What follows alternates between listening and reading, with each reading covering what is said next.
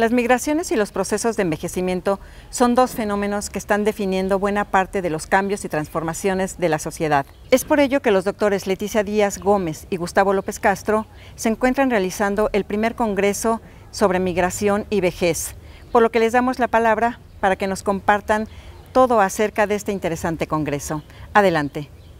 Los procesos de envejecimiento y las migraciones como fenómeno social son dos de los grandes temas que hemos estado investigando desde hace ya muchos años en el Colegio de Michoacán y desde hace algunos años también tenemos proyectos que conjuntan estos dos grandes temas de la sociedad mexicana. Para continuar avanzando en este conocimiento, estamos proponiendo a todos ustedes que asistan al primer Congreso Internacional de Migración y Vejez Migrante, que tendremos en el Colegio de Michoacán en Zamora el 30 y 31 de mayo de 2019. Es por eso que nosotros hemos invitado a investigadores sociales, antropólogos, sociólogos, eh, psicólogos y el público en general para que puedan asistir a este gran evento que es el primer Congreso de Migración Internacional y Vejez Migrante.